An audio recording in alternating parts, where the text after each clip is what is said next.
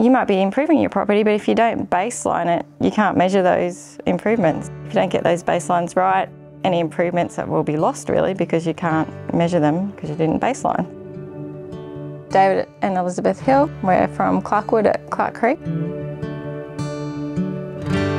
We run a breeding and fattening operation, hoping to run around 400 breeders this year We've both got a really high expectation for MSA and eating quality, so that's our main focus. They say in a beef business you need 80% compliance to your market with 80% conception and that type of thing. Well, we set a bit of a higher benchmark for that. Mine target's always been over 95% compliance to MSA and more than 90% uh, conception. To improve your herd, you need to put pressure on them. And the great way to do that is to collect data. The main reason we did it was to reduce the size of the cow so that she's easier maintained in the not so great year. They're more likely to go back and calf. They're going to be better going forward.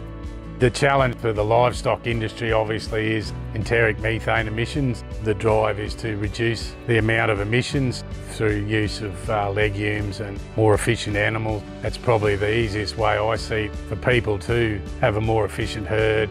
The carbon calculator, you take in the emissions and uh, measure the performance of your animals, allow us to establish the baseline and where the industry is in regards to CN30. That's probably the the largest commitment this industry's made. I've been one that's been big supporter of having something that's a baseline to allow people to get an understanding of where they are with the commitment. So then what you do with it is up to yourself.